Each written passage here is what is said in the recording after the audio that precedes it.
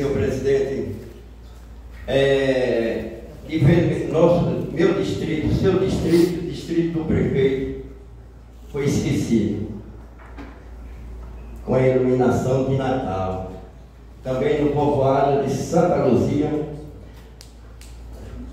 que todo ano de Natal, entendeu?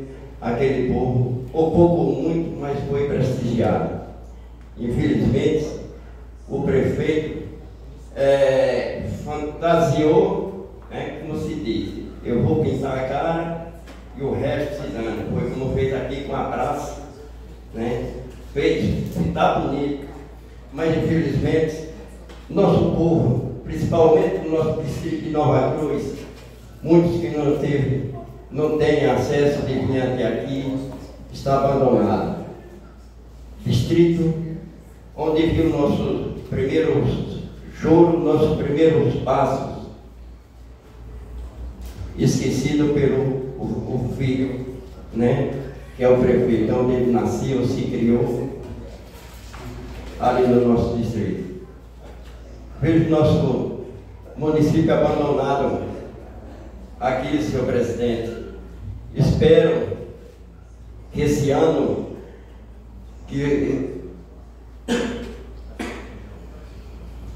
que se aproxima, as coisas sejam diferentes, que o dinheiro público seja gasto com mais carinho, principalmente com o nosso povo mais carente de nossa terra.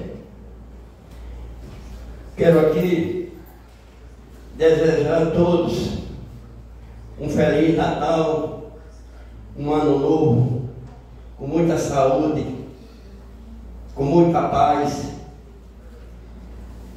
esses são os votos do vereador Adenor Brandão.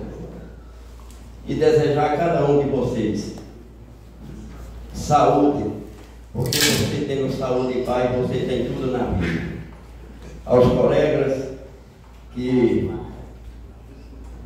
nós, todas as quinta-feiras, é, fizemos parte dessa, dessa missão que foi acreditada em nós, a todos vocês. Um Feliz Natal e um Ano Novo com muita paz, não só a você e a toda a sua família. Boa noite e que Deus nos acompanhe. Nesse momento, a palavra está franqueada ao nosso colega vereador Paulo Machado. Você dispõe 10 minutos para fazer o da tribuna.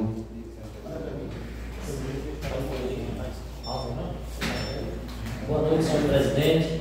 Boa noite, senhora vereadora, os colegas vereadores, todos nos acompanhando pela RB Líder, também